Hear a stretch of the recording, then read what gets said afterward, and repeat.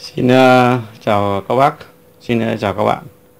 Xin uh, cảm ơn uh, các bạn đã xem video này của chúng tôi. Hôm nay chúng tôi xin giới thiệu với các bạn là một sản phẩm tiếp theo trên uh, kênh YouTube cũng như trên trang web hà huy thoại.com của chúng tôi.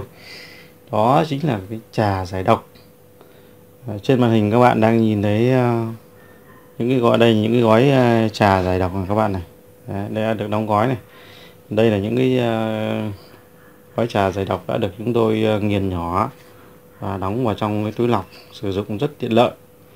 Một gói trà giải lọc như này thôi thì các bạn có thể pha được vào trong một ấm chuyên này. Chỉ cần một gói này các bạn nhé. Một gói này pha làm một ấm chuyên này. Có thể làm dùng làm hai nước các bạn uống vẫn tốt.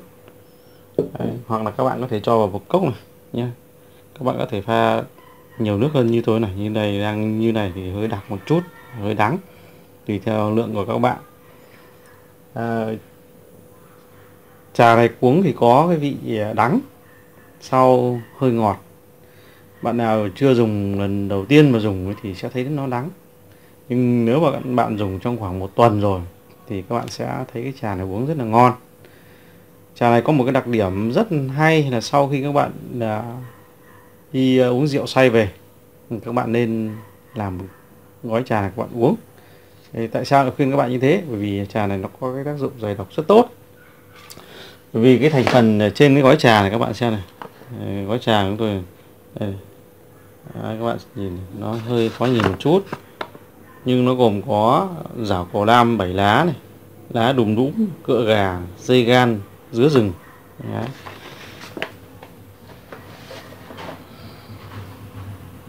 Để, để rõ hơn về cái ờ, bài viết này thì các bạn hãy truy cập cái trang web của chúng tôi là hà huy thoại.com và xem các cái bài viết là các bạn hãy tìm bài viết là trà giải độc. Thì ờ, trên trang web này của chúng tôi đã nói rất rõ về từng loại thảo dược một.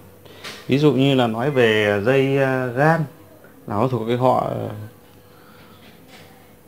họ huyết đằng và dây gan thì có tác dụng giải độc rất tốt. Đặc biệt là người dân tộc giao ấy, là khi mà trâu bò mà bị rắn cắn ấy, là người ta lấy cái dây gan này ra xong rồi giã nước cho trâu bò uống còn khỏi. Hai là gồm quả thứ hai là cái quả dứa rừng. Cái quả dứa rừng nó không phải là cái quả dứa dại đâu các bác nhé. Cái quả dứa rừng này nó có cái đặc điểm là nó chín thì nó thơm uống rượu ngâm rượu uống rất là ngon. Ha và cái nó có cái gai nhỏ giống như kiểu cái quả mít ấy. Trong ờ, thành phần của gói ờ, trà này còn có loại thảo dược thứ hai là cái dứa rừng tôi đã vừa nói. Còn loại thành phần thảo dược thứ ba, đó chính là cái lá đùm đũm, hay còn nơi còn gọi là lá mâm xôi. Thì cái lá đùm đũm hay lá mâm xôi này rất là nổi tiếng được kể trong cái câu chuyện của Trần Đăng Khoa kể về người tù là đã được một à, giấc mơ kỳ lạ. Ừ, tìm được một cái lá, được một giấc mơ kỳ lạ là một ông tiên dẫn đường và chỉ cho cái lá cây này là rất tốt và cái thực ra thì cái lá cây này được người dân sử dụng rất lâu rồi nhưng có cái là lên trên truyền hình và báo chí thì rất là ít. Cái lá cây ờ, đục đũm này được xuất hiện ở rất là nhiều nơi ví dụ như ờ, Hà Tây, Ba Vì à, rồi một số các tỉnh khác nó thường nằm trong các cái vùng núi thấp từ 2 đến 300 mét. Một loại à, nữa à, tốt hơn à, đó chính là cái loại thảo dược cựa gà thì hiện tại thì cái loại thảo dược cựa gà này thì à, do công thức chế biến cho nên là hình ảnh vẫn đang được uh, giấu. Trong cái trà giải độc này cho nên sẽ không được tiết lộ. Nhưng mà thông thường thì các bác có thể à, tự chế cái trà này bằng cách là bỏ qua cái dây à, cái cái thảo dược cựa gà cũng được. Loại thảo dược thứ năm trong cái gói trà này đó chính là rào cổ lam. Thì các bác có thể dùng cái loại rào cổ lam sapa 7 lá là tốt nhất. Nên chọn cái loại ở trên núi cao, độ cao 1.500 đến 2.000 mét. Các bác cũng có thể dùng cái loại rào cổ lam 5 lá hoặc là 7 lá mọc ở núi thấp hơn, nhưng mà chất lượng sẽ không tốt bằng uống không đáng bằng. Một loại thảo dược cuối cùng là loại thảo dược thứ sáu trong gói trà này chính là cái cỏ ngọt. Cỏ ngọt thì có tác dụng rất tốt cho những bệnh nhân tiểu đường.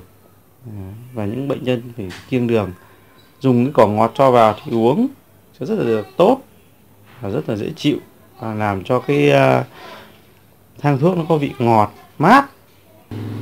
Chi tiết về à, các loại à, thảo dược này thì các bác hãy xem trên trang web của tôi nhé.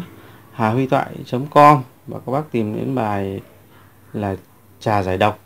Trong trang web này, trên trang bài viết này chúng tôi đã nói cụ thể về từng loại thảo dược một, có hình ảnh từng loại một và đặc biệt là có cả công thức nếu các bác muốn chế biến. Chúng tôi hoàn toàn không giấu cái công thức trà dày độc này. Mong mỏi đến mọi người có thể được dùng cái trà dày độc này để tốt cho cơ thể. À, ngoài ra thì các bác có thể liên hệ với chúng tôi qua cái số điện thoại là 0932 340 345 để đặt mua cái trà thảo trà giải độc này. À, cái trà giải độc này nó có cái màu à, đây các bác này. Đấy màu vàng rất là đẹp. Uống thì à, vị hơi đắng sau hơi ngọt. Ờ, rất tiện lợi ờ, khi ờ, các bác có thể là đi đâu đó thì mang theo một gói này. Các bác có thể dùng, mua một gói thôi. Một gói này của chúng tôi là có trọng lượng tương đương khoảng độ 500 g trong này thì có 60 gói trà này. Có 60 gói con này các bác này. Đấy, thì một ngày các bác thì dùng một gói thì dùng hai tháng hết gói. Các bác dùng hai gói thì 30 ngày, tức là một tháng hết một gói trà thảo mộc này đặc biệt được lấy trên núi cao hoàn toàn không có chất bảo quản. Các bác có thể yên tâm hoàn toàn yên tâm sử dụng. Chúng tôi cũng thường xuyên sử dụng cái trà thảo mộc này hàng ngày và cũng gửi cho ra mọi người trong gia đình dùng. Nó có tác dụng rất tốt cho sức khỏe. Các bác cứ mua thử một gói và dùng. À, dùng một gói xong các bác sẽ có cái cảm nhận. Tôi chỉ có cảm nhận ngay lập tức đó là cái cảm nhận buồn ngủ các bác ạ. Mà à, chúng tôi dùng thì thấy nó buồn ngủ lắm.